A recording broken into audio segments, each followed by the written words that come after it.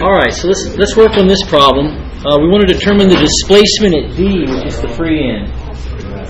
Uh, we have a value for I and a value for E.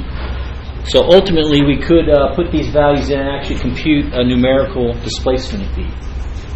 Let's let's think about this in terms of all the different methods we've looked at. Uh, with direct integration, can we do this problem with direct integration?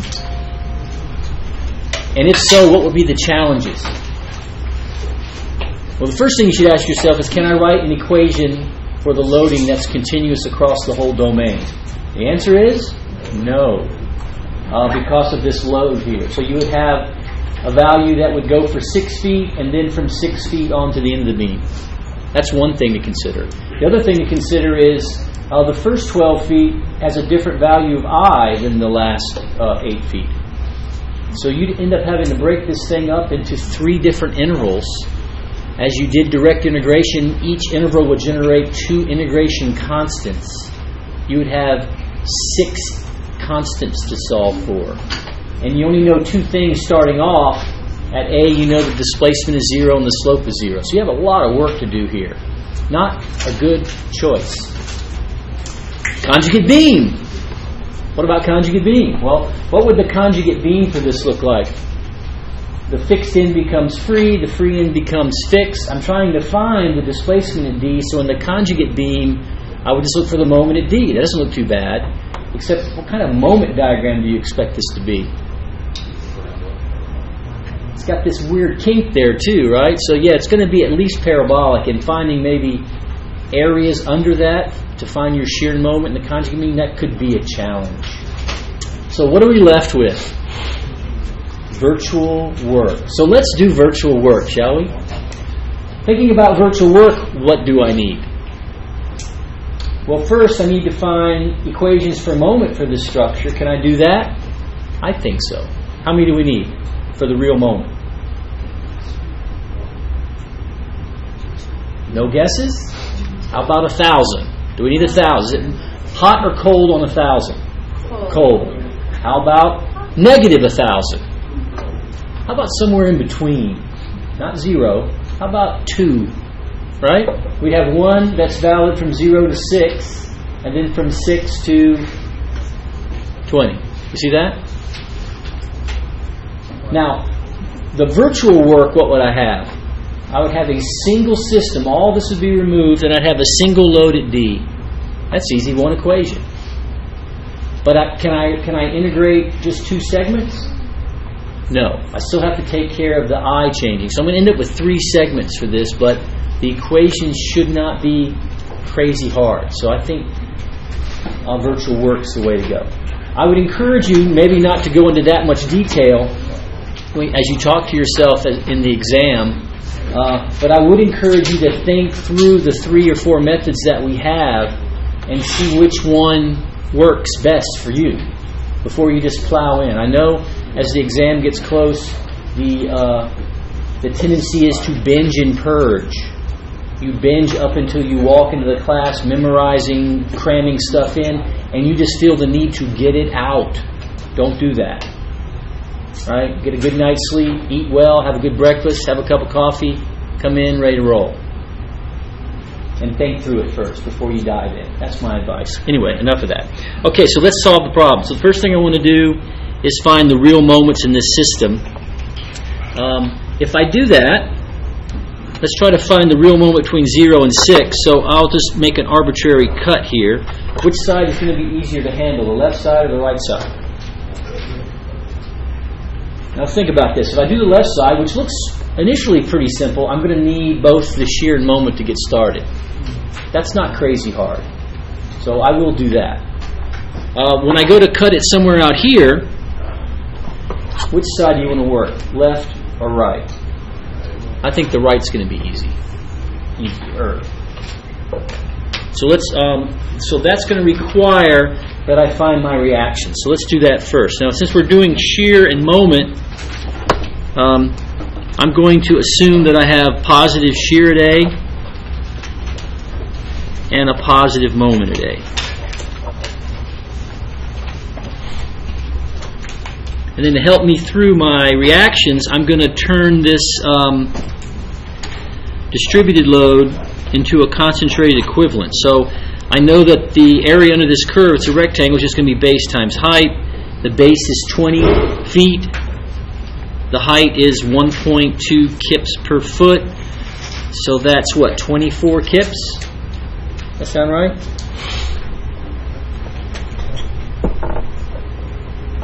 And that'll be halfway, uh, which should be 10 feet, right? That should be enough to help me get the reactions. I don't really care about the shear, I just care about the moment, because I'm writing a moment equation, right?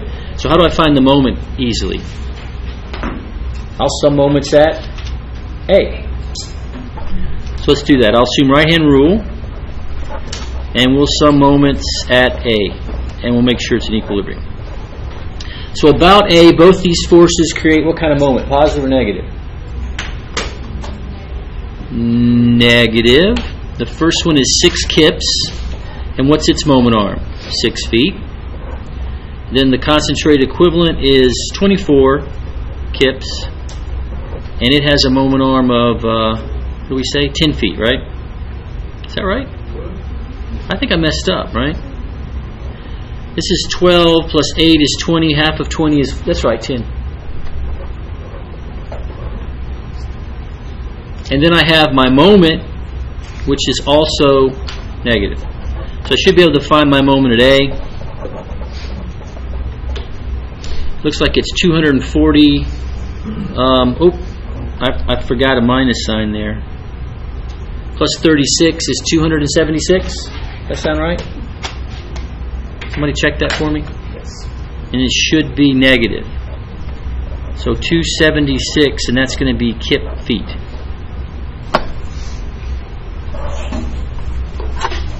Okay? So now I can use that information, and let's find uh, what I'll call the real moment.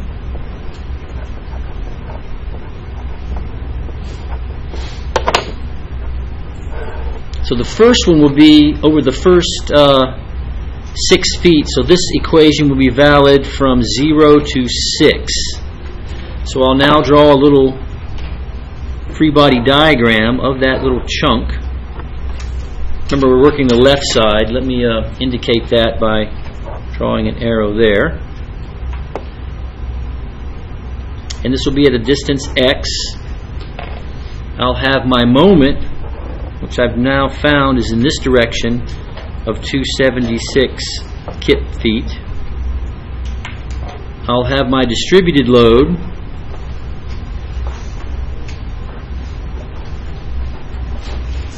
which I can turn into a concentrated equivalent force. And what would that be? Well, it's going to be, it's a rectangle again, so it's base times height. Base is x and height is 1.2. So this should be a force of 1.2x. And then we know the distance will be half or x over 2. And then what I'm looking for is the internal moment.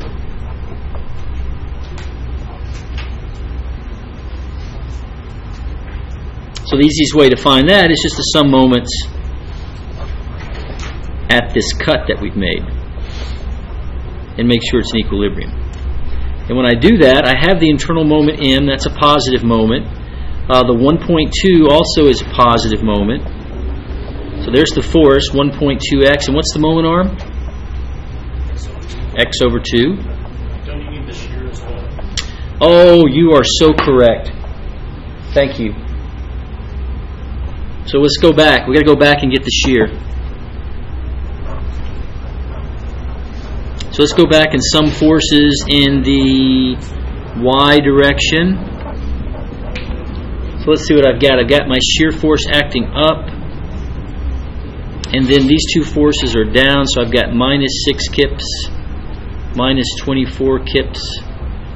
So it looks like the shear at A is 30 kips. It wasn't too hard.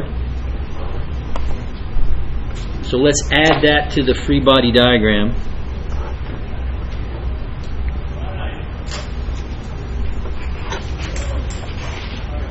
So now we'll need to include that. So I've got, let's see, I've got moment is positive, 1.2x times its moment arm. I've got the end moment, which is positive 276, and then I have the 30 kip force, which is negative moment. What's its moment arm?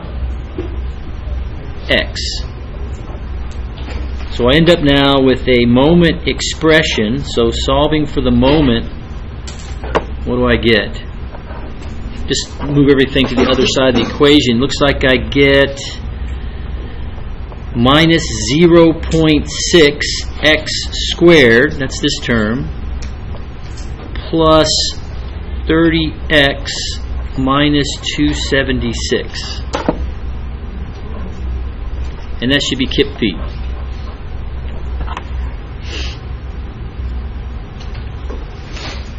Now, right now, the only thing we can check about this moment is what? We only know the moment at A, right? Which is x equals 0. And if our equilibrium is right, we know the moment should be negative 276. So when I put in x equals 0, first term cancels, second term cancels, I'm left with negative 276. So that's, at least we're moving in the right direction.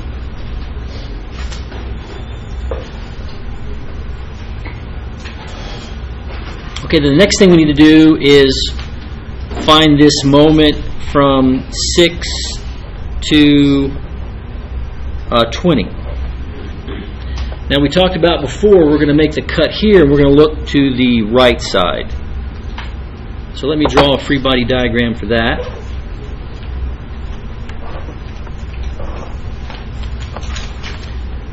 So we'll have the distributed force again. And at some distance x, then how long will our segment be to the right? What should be the total length minus x should be 20 minus x. And then we'll have the internal moment there. There's the positive bending moment. And then we'll have our concentrated equivalent force, which should be the area of the curve, base times height. The base is 20x, 20 minus x. The height is, excuse me, 1.2. So this is going to be 1.2 times 20 minus x. And the distance from the cut will be the length, 20 minus x divided by 2. So now we'll come back and we'll sum the moments at the cut to make sure it's in equilibrium. So what do we have? Well, we'll start here at the moment. That's a negative moment with my sign convention. What about this moment to this force? Positive or negative? Negative, right? So minus the force, which is 1.2 times 20 minus x, and then the moment arm, which is 20 minus x over 2. So when I solve for the moment here, what will I get? Well, let's see. That 1.2 divided by 2 will be uh, 0.6, and then I'll have 20 minus x squared. Oh, I forgot. This also will have uh, units of kip feet. So there's my two moment expressions. Now I can check this one too because I know the moment, what's the moment at D? Zero. So if I put in x equal 20, you can see that zeroes it out nicely. And then the next thing we want to check is at the point they share, which is 6, do I get the same value? So somebody put in 6 for this. So I'll write over here, what is the moment when x is equal to 6 from this equation? And then somebody do it down here.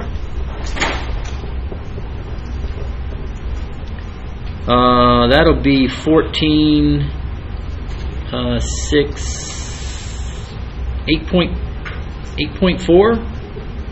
I don't know what it is. I'm just guessing.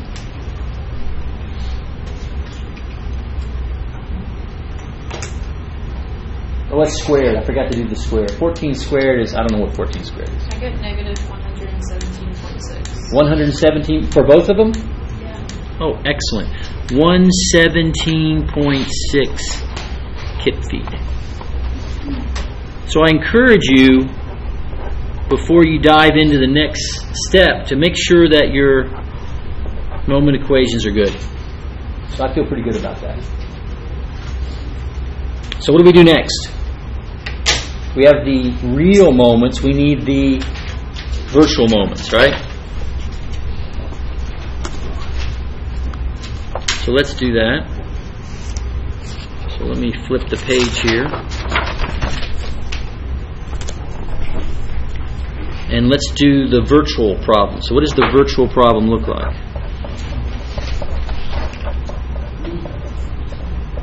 Now the problem wants the displacement at D. So that means I'm looking at a beam. The geometry is the same, so fixed beam of length 20.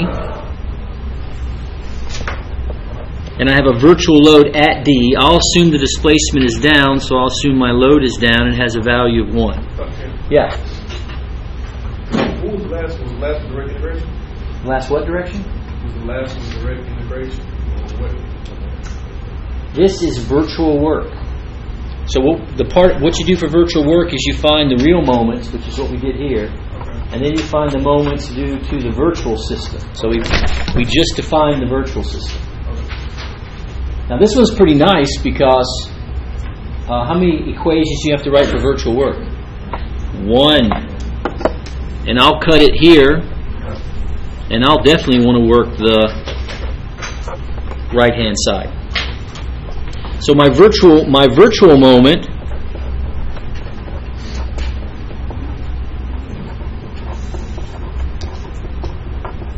will be one equation that's valid for the entire length. So I'll draw my free body diagram for that. So there's the right hand segment with my virtual load. At some distance x is the cut, and that leaves the beam with the remaining segment of 20 minus x, the length minus x. And then what I'm looking for internally is the virtual moment.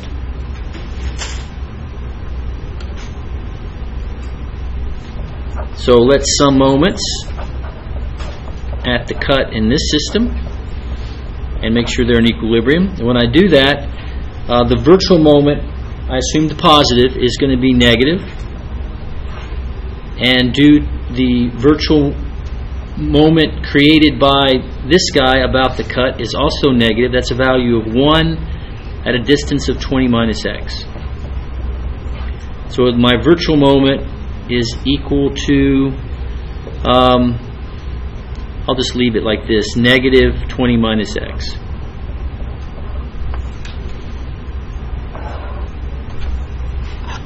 Does it work? What do you think the moment at x equal 20 is, the free end? Should be 0, right? So I'll plug in 20 and look at that, 0. Now what do you think the moment at the fixed connection is going to be? It's probably going to be this force times the distance, or negative 20. And you see, you put an x equals 0, you get negative 20. So I'm pretty comfortable that that's working on the virtual system that I've selected. So all I have to do now is piece it together and do the integration. So the displacement at D is, remember, it's the integral over the length of the real moment, the virtual moment, divided by EI, and summed up. So let's flip back. Let's think about it. So we now know that we have two real equations, one from 0 to 6, the second from 6 to 20. We have one virtual equation that goes the whole length. And if E and I were constant throughout the structure, we only have two segments to deal with, right? We would integrate from 0 to 6, and then from 6 to 20. And the reason we're choosing those segments is because we have two different real moment equations. But now we have to stop at 12 because the I changes value. So we're going to have three segments 0 to 6, 6 to 12, 12 to 20. Okay?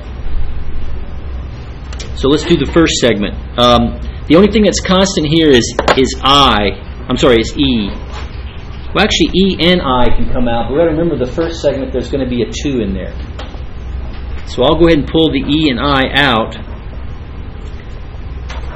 So when I do my first segment, which is from 0 to 6, what's the real moment from 0 to 6? It's all this thing. So I got to write that in there. So that's going to be uh, minus 0.6x. What is it? Uh, plus 30x minus 276. That's the real moment, right? And then what's the virtual moment for the same segment? Minus 20 minus x. You see that? So I'll put the minus in front. I'll put the 20 minus x. And then the whole thing is divided by 2.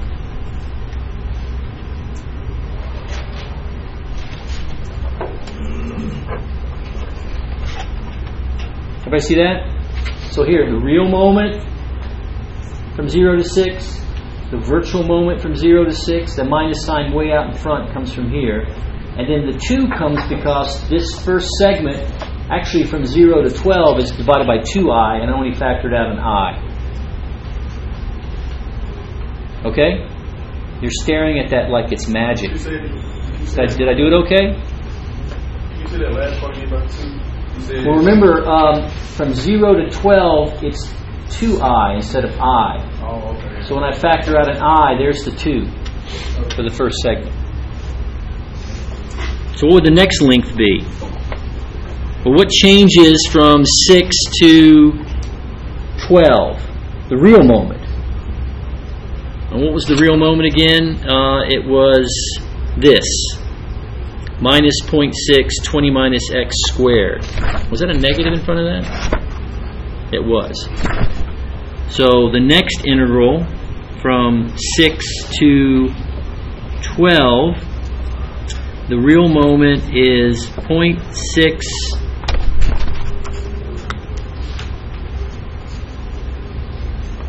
Oh, I put it in the wrong side. I guess it won't matter. Um, I messed up that. Let's see, it's 20 minus x squared. That's the real moment. What's the virtual moment?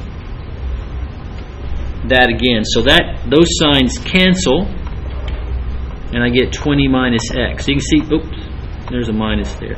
So that's going to be 20 minus x cubed when we're all done. So there's the real moment, there's the virtual moment, and then I need to divide by 2 because I'm still in the segment where the moment of inertia is twice as big.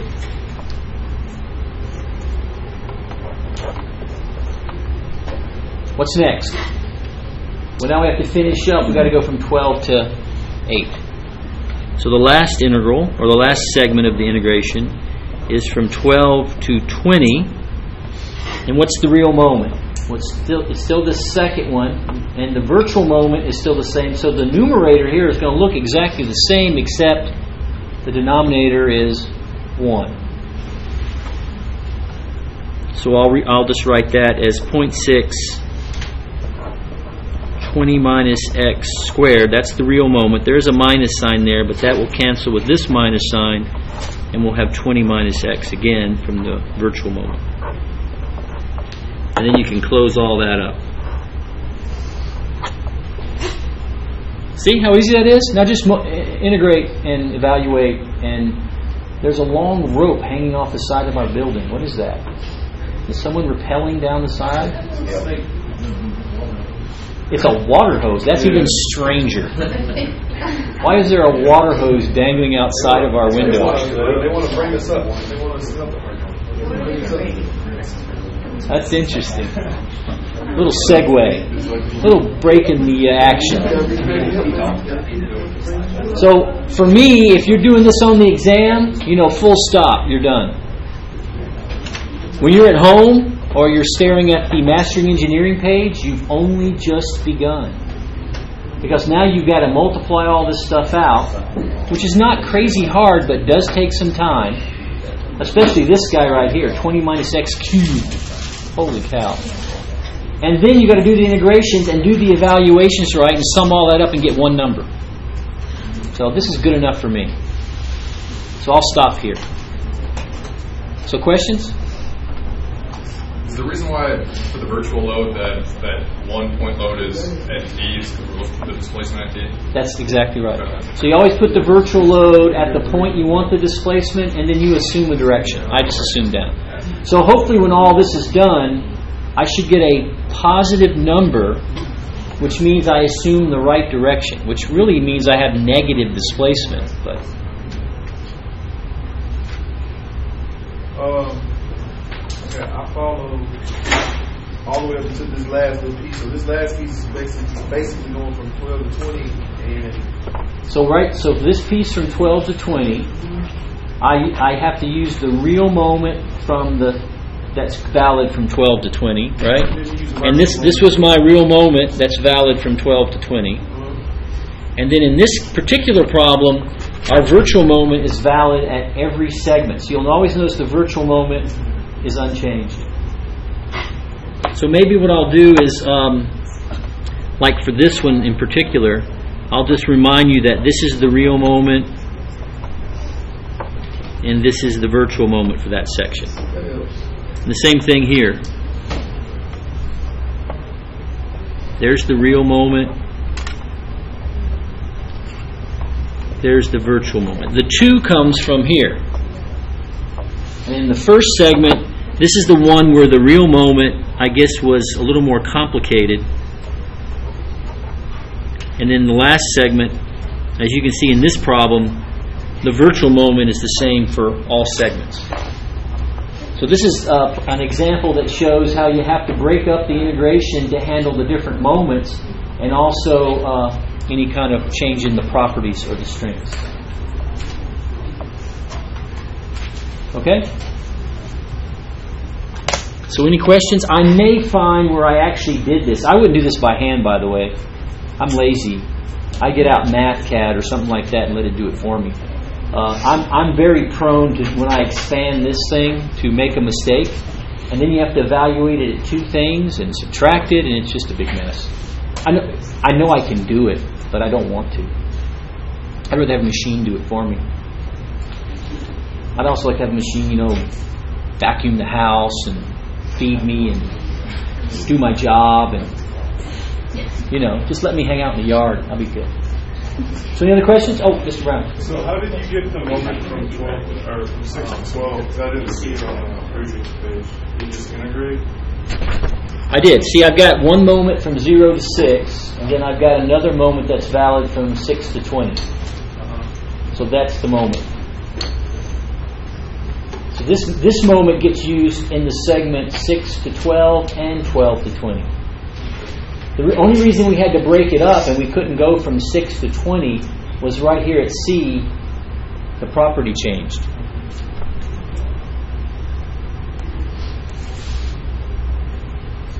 Okay? I'll flip back and let the last image be the, uh, the result. I think that's in pretty good shape. All right.